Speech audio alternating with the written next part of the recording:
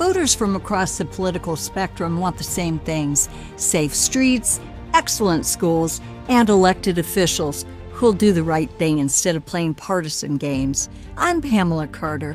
I support legislation to repeal the grocery tax to help fight inflation and provide relief for our families.